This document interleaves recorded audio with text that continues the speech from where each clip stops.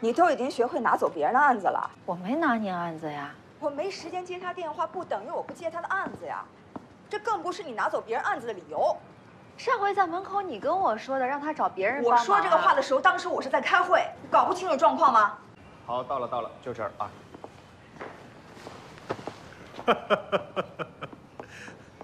哎呀，你怎么那么可爱？来亲一个啊！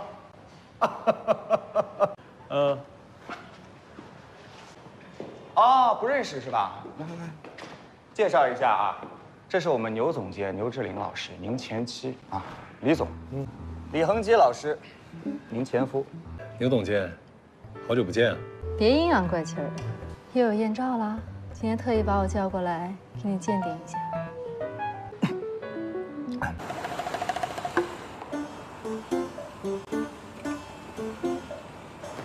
为了你那个没人看的破节目，你真是不择手段啊！作为一个主持人，你能做出这种没有下限的事，你真是刷新了我的三观了。我只是觉得想给你的当事人多一个选择而已。不需要。看来你经常看我们的节目，好看吗？你那垃圾节目什么收视率你自己不知道啊？你心里没点数啊？正是因为我心里有数，所以我觉得现在的周明雅非常需要我。你的自信都从哪儿来的？哎，你是在跟我宣战吗？